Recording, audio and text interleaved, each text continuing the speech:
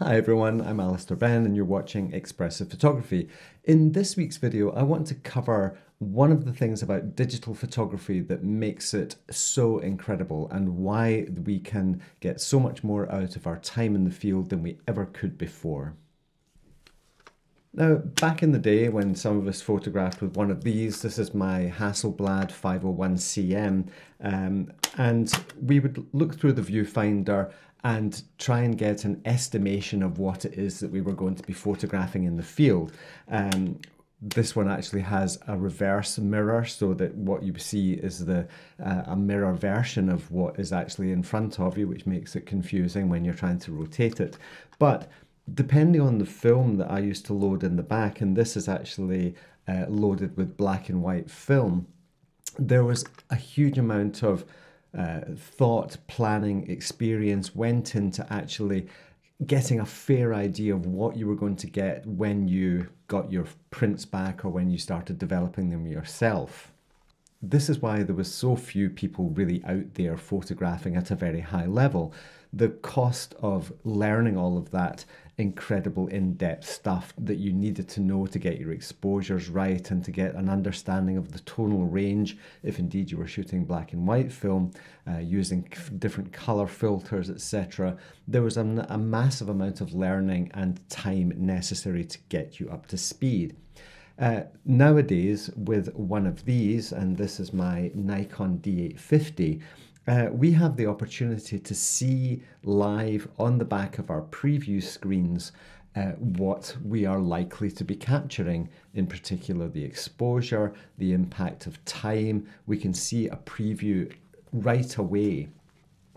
And that is obviously a massive shift in the cost of entry, the amount of time necessary to understand what you're going to get when you push the shutter film is expensive, processing is expensive. It used to get, you know, maybe one or two frames out of a roll of film that were really good.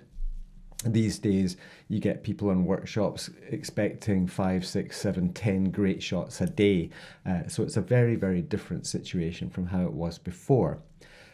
Anyone who has seen any of my videos and in my Lightroom catalog realizes two things. One is that I um, shoot uh, I crop in camera an awful lot of the time. Uh, squares, 4x5, 16 by 9s are three common aspect ratios that I will shoot in camera. And the second thing is black and white previews. Uh, I shoot with a black and white preview at least half the time. And the reason I do that is because it allows me to have an experience in the landscape that gives me better feedback than if I had a color preview. So in this week's video, I want to talk about the power of the black and white preview in your camera. Before we dive into that, there's just a couple of announcements I have to make. You know that Adam Gibbs and I are running a few workshops together. First of all, in May this year in uh, Vancouver Island in British Columbia, uh, and there's a few spots left on the first one of those dates. Uh, that's going to be based up in Port Renfrew. Of course, there's the fairy tree and some of the beautiful trails along there. So we're really looking forward to meeting some of you guys uh, in Vancouver Island in May. But there are a few spots left. Click on the link underneath this uh, video to get taken to our workshop page for registration. Uh, secondly, Adam and I are also going to be back in the north coast of Spain in January, and we still have a few spots on a couple of those trips as well. So, if you're interested in joining myself and Adam Gibbs for an incredible time in the landscape and to learn from both of us, then check out those two workshops. So, why would you use a black and white preview when it's got perfectly good color previews? Well, first of all, your camera may not have a black and white preview, and if that is the case, then I'm sorry, but uh, uh, many cameras do. My uh, Nikon D850, which is looking very much beaten up these days, uh, does have a black and white preview, and I'm going to tell you why I use it. If we look at some of the photographs here uh, taken on the screen, the ones that are black and white previews, most of them were taken uh, around 11 o'clock, 12 o'clock, 1 o'clock during the day. Uh, when the light was a little bit more harsh, a little bit more blue. Um, and what I've wanted to do here is give myself feedback that makes me feel as if the thing I'm doing in the field is great. That's a, a, slightly arrogant expression there. I love black and white photography. My first really meaningful ebook that I published a few years ago was Luminosity and Contrast, and I delved into black and white photography in a way where I understand the concept of luminosity and contrast, the power of luminosity in a landscape. As soon as we remove color, we're having to deal with the with the images in a very different way. If I pop this into the develop module, you can see it's got that kind of slightly bluish and then there's a kind of muddy brownness in the rocks there. Now it's a perfectly acceptable preview, um, but jumping back into the develop uh, the uh, library mode there, I prefer it in black and white. If I'm making photographs where the color is super important, it can be very good to go into black and white preview just to get rid of the color because it allows you to see the composition for what it is. A good example of that is this photograph here. This I actually photographed in color um, because I was just loving this reflected light hitting the top of the, the waves there, um, the river. And seeing those colors on the back of the camera made me feel good about the experience I was having. However, I'm not 100% about this composition, the big foam on the top right hand side there, and I believe that if I had shot this in black and white, I might have had a different relationship with it. Having said that, it's not bad.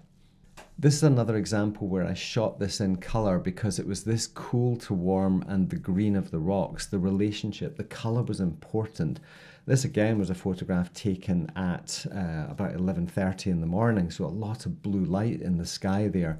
And this little patch of warmth was just reflecting off a mountain in the background, um, which was in full sun. So the color combinations were what I was really responding to, and I found it really fascinating. Again, though, I do believe that in black and white, the composition still works. So I, I don't feel as if I lost something here by not photographing in black and white.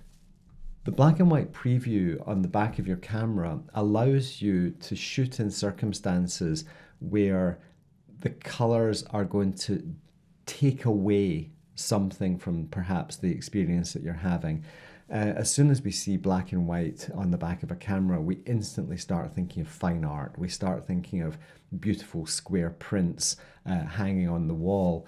Uh, this one, for example, I really, really like. And this is an unprocessed file, but as soon as I go into color, now the tones are perfectly acceptable. There's nothing horribly wrong with that in any shape or form, but I think I always thought of the photograph as black and white, and perhaps seeing that high contrast black and white on the back of the camera engaged me more with the scene than if I'd seen this on the back of the camera.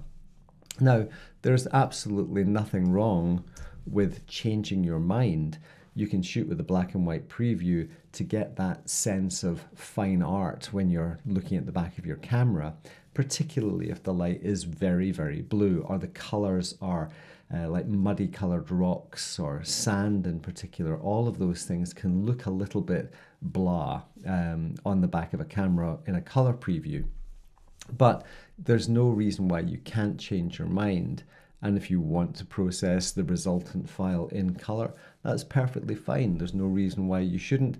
But likewise, if you go into black and white, then obviously you can start uh, adjusting some of these tones to make perhaps a high, a more high contrast version. And there we go.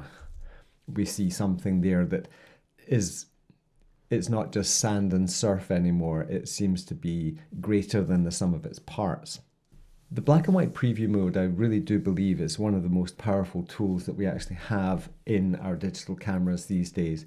The power to see something on the back of your camera that makes you feel good about the, the subject that you're engaging with and the, the way you're uh, harvesting the light, the way you're recording the scene. Uh, using the preview to, to look at the shutter speed to assess those things in conjunction with this uh, black and white preview, I, I feel I was making photographs that were giving me really positive feedback about the experience. Anything that we can do in the field to make ourselves feel better about the things that we're pointing our cameras at and the images that we're making at the time are going to make the experience better. I really struggle these days with anybody that's telling you to do things that are going to confine you more, that are going to make you feel as if you have to pre visualize the final photograph somehow at the same time as you're in the field trying to find compositions.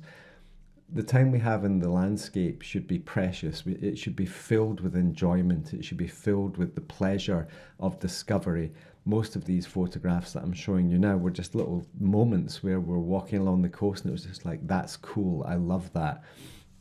So in this one here, this jagged uh, foreground rocks were juxtaposed really nicely against this very atmospheric area where the surf was piling in and then pouring down this slope. The fact that I uh, was shooting in a black and white preview made it just feel very artistic to me. Um, if I jump into the develop module, we start introducing these cool tones and the rocks themselves seem a little bit more ordinary to me. I, I definitely have a stronger sense that what I was seeing on the back of the camera with the black and white preview was giving me a much more positive um, feedback from the experience and from the type of photographs that I was making. I believe very strongly that expressive photography is about you finding ways to make everything you do with your camera and in front of the uh, in front of the computer better. You know, we want you to be having a good time. We want you to be enjoying yourself. We want you to be feeling as if the time you're spending in the field is time well spent. Likewise, in front of the computer, you know, popping this image back into black and white, I instantly feel um, a deeper sense of connection with it than with the colour. When I wrote Luminosity and Contrast back in 2018, the reason I wrote it was to make a photographic book about black and white photography, to try and teach black and white photography. But I didn't want to just recreate all the books that had been done before, covering the topic in exactly the same way as hundreds of other people had done before. I wanted to produce a book that allows the reader to find the relationship that they have with luminosity and contrast. In this photograph here, luminosity is the brightness of that surf. We notice this very high energy area in the back of the frame. The contrast with the jagged, uh, much more angular foreground rocks allow us to have differences, a transition from light, airy, but still quite energetic through to this very rugged and static foreground. The black and white cuts through any colour that may be present in the scene because colour is such a powerfully um, manipulative uh, ingredient, which is why my second ebook, The Colour of Meaning, looks at the impact of colour because we can see here how quickly these photographs can get out of hand, they get oversaturated. Blue light saturates very, very quickly, and we have to be very careful with how we deal with blue light. But the blueness of this scene, or if we somewhat neutralize it, things just seem to get a bit flat and a bit boring. So for me, this is a black and white photograph and having the camera in black and white preview mode allowed me to see this much quicker and much faster in the field and get that positive feedback. Uh, hopefully you own a camera that does have a black and white preview mode. Um, if you don't, then why not import your photographs and see what they look like in black and white? You know, there's nothing to stop you just clicking that black and white preview button and seeing something that may change your relationship with the content. This photograph for me at the time was all about color, but when I see it in black and white, I change my relationship with it. You start seeing things in it that you don't see when you're absolutely being uh, overpowered with the color in a photograph. I hope you find this content useful. Expressive Photography channel is all about trying to improve your relationship with yourself and your photography. Um, last week's discussion on the rule of thirds prompted some interesting feedback, um, and of course, many of you are going to disagree with some of the stuff I say, and that's totally your prerogative, and you can listen to whoever you want. At Expressive Photography, we are trying to question a lot of these rules and things that have become uh, cast in stone. Uh, and if you're interested in digging deeper into expressive photography, please check out the ebooks Luminosity Contrast, The Color of Meaning, and uh, Creativity Superpowers. You may also consider jumping onto the Expressive Photography Forum where you can have a 30 day free trial of this subscription forum uh, where we are posting videos and talking about images and doing deep dives uh, into the art of creativity. Tune in next week when I'm going to be talking about some of the other incredibly powerful things that we can do with our cameras, and hopefully that will also improve your relationship with your own art and craft. Thank you very much for watching. Please hit the subscribe button and give me a thumbs up. And of course, dive into the bottom links there to go and check out if you can come and join Adam and myself either in Vancouver Island or the north coast of Spain. Until next week, thank you very much for watching. I'm Alister Benn, and this is Expressive Photography.